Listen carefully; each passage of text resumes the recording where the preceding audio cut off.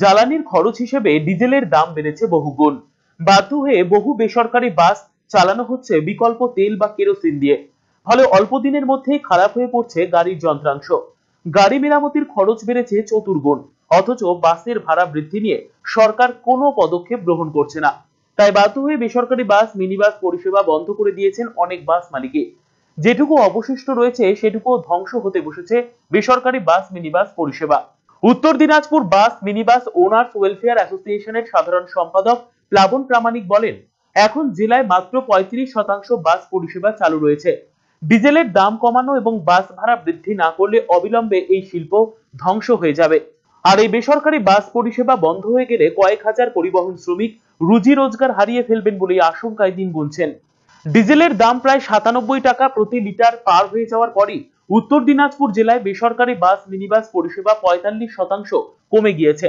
এদিকে কিছু সংখ্যক বাস মালিক ডিজেলের বিকল্প তেল বা কেরোসিন ব্যবহার করে নিজেদের বাঁচানোর চেষ্টা করতে গিয়ে তাদের গাড়ির যন্ত্রাংশ নষ্ট করে ফেলছেন।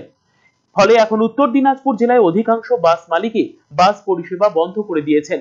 এদিকে বেসরকারি বাস পরিষেবা প্রায় বন্ধ হয়ে যাওয়ায় দুর্ভোগে পড়েছেন সাধারণ মানুষ ও যাত্রীরা। আমি এখানকারই বাসিন্দা বহরমপুর যাব। হ্যাঁ, গাড়ির জন্য দাঁড়িয়ে আছি। কি জানি গাড়ি পাচ্ছি না অনেকক্ষণ ধরে দাঁড়িয়ে আছি। কি যে সমস্যা আছে বলতে পারছি না। এরকম অভিজ্ঞতা এর মধ্যে এর মধ্যে পড়েনি এরকম অভিজ্ঞতার মধ্যে। অনেকক্ষণ ধরে দাঁড়িয়ে আছি। আজ প্রথম। আর ক্ষতিপূরণ দিয়ে বেসরকারি বাস পরিষেবা দেওয়া সম্ভব নয় বলে জানিয়ে দিয়েছেন বাস মালিকরাও। আমি আগে অন্য তেল দিয়ে চালাতাম। চালাতে গিয়ে গাড়িগুলো খারাপ হয়ে যাচ্ছে। বছরে দুইবার করে ইঞ্জিন বানাতে হচ্ছে।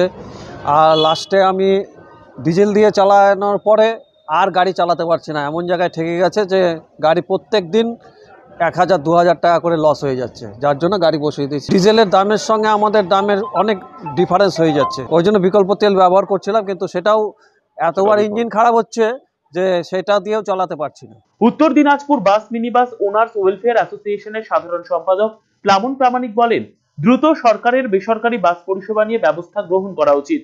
আজকের দিনে ডিজেলের দাম চুরানব্বই টাকা প্রতি লিটার। আমাদের গাড়িগুলো চালানো কোনো পক্ষেই আর সম্ভব হচ্ছে না। ডিজেলের দাম খুব বেশি পরিমাণে বৃদ্ধি পাওয়ার পর বিকল্প তেল হিসাবেও কিছু ঢেলে আমরা গাড়ি চালানোর চেষ্টা করেছিলাম। এখন সেখানেও আমরা ব্যর্থ হচ্ছি। কারণ বিকল্প তেল ঢালতে গিয়ে গাড়ির যন্ত্রাংশ ভীষণভাবে ক্ষতিগ্রস্ত হচ্ছে। গাড়ির মেরামতির খরচা প্রায় চতুর্গুণ হয়ে যাচ্ছে। এমতো অবস্থায় সরকার যদি অবিলম্বে ভাড়া বৃদ্ধির কথা বিবেচনা না করে, তাহলে বেসরকারি পরিবহন শিল্প ধ্বংস হতে আর বেশি দিন সময় লাগবে না। আজকের বাজারে আমাদের সংগঠনের পঁয়ত্রিশ পঁয়ত্রিশ শতাংশ গাড়িও রাস্তায় চলছে না। আরসিটিভি সংবাদ, রায়গঞ্জ।